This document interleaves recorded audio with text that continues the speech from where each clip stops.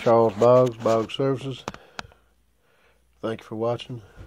I got a working on a Kawasaki Vulcan 800. I got a I'm sick, so anyway, I need to make a video and put it out. I hadn't put one out in a long time, so it's just a simple thing. The fan is not coming on for the liquid cooled unit. So what I'm going to do is we're going to take it and do a quick little test. And so if we take these two here, we'll set my meter to where it does a continuity test. It's a cheap little Harbor Freight meter. Anybody can get one for six or eight bucks. You take your two wires, your two things, you touch them together. And you hear that signal. Okay. Now I've got this piece clamped in here. I should get no signal right now. I'm getting, I'm getting no signal. Okay, so set this camera here so that that can be seen while I'm hold it. There we go. Now, this is just a heat gun. Take the heat gun. I don't want to get too hot, so I'm put on low. Right here.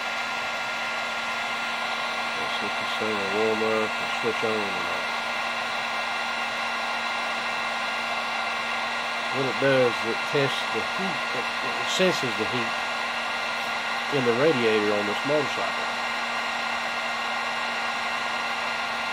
And once it gets to a certain temperature, it causes it to flip the switch on, gets inside, and make it get continuity. And it will turn, when it gets continuity, it will turn the fan on in order to cool the water in the radiator to cool the engine.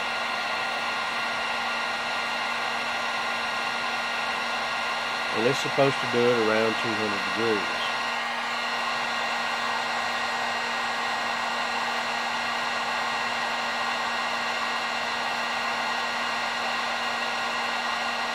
And uh, I don't have a thermometer. Check the temperature. But this thing, I believe, should have gone off by now. So should have switched bad. And what's making me say that it should have gone off by now? This is the heat gun. The heat gun's not like a blow dryer. Heat gun don't play.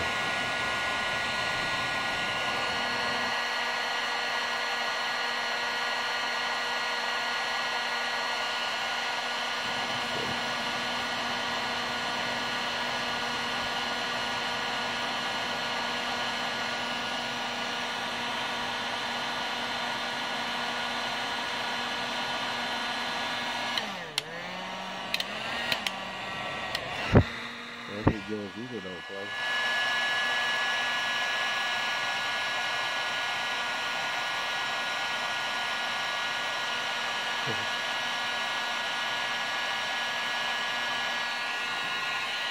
little hot. We should have already. Yeah, it's almost going to on fire. It should have already. There it goes. As hot as that is, it'll burn that paper. It should have flipped switch by now.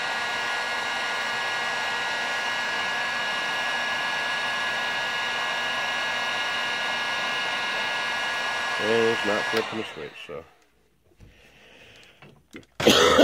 just a quick little test. So it would have continuity if it was any good. So, so we'll get a new switch for it and put it on there, and the motorcycle will be repaired. Thanks for watching. An upside down video. Charles Boggs, Boggs Services.